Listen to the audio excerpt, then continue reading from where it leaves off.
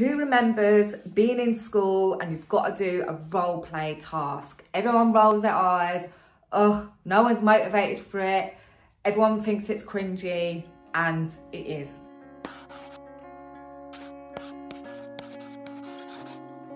When you are training to be a probation officer, when you're going through the recruitment process, they will ask you to do role play as a part of the recruitment process. And as a part of the training, you may have to do some role play exercises as well before you actually start working with the service users. I think the probation officer job was the first time I had to do role play in a professional setting. Role play.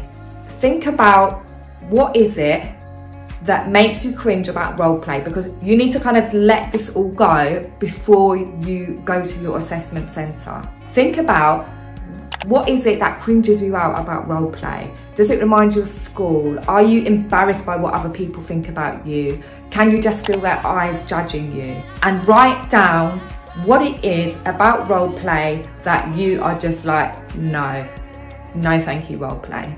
You can do that now. Pause the video, write it down. Then I want you to think about, and you can write this down as well, what is the worst that can happen? Okay, someone thinks you're silly, fine. What is the worst? I don't think anything can happen from you just sitting there doing a role play. I don't know if you can think of any. If you do think of any, put them in the comments. But all I can think of is people might think you're silly or people are staring at you for a long time. Of course, another one, which is a tip I say all the time, is be prepared. So you can, you know that it's going to be a challenging situation. So maybe watch some situations if there's any on YouTube or think back to situations where you have had to deal with challenging people.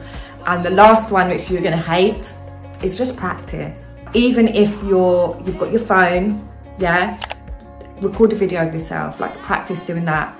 Um, you know, practice on someone that's at home if it's not too cringy for you. Practice to the wall, practice to the mirror, like just practice so that you just get comfortable in your own skin doing that role play. Then hopefully it won't feel too, too cringy. So if you have had your role play, definitely let me know in the comments.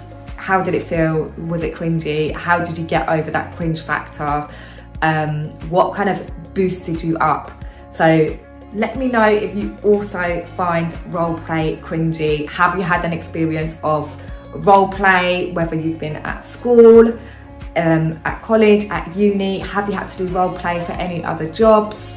If these tips helped, definitely let me know. Love to hear more from you and thank you for watching.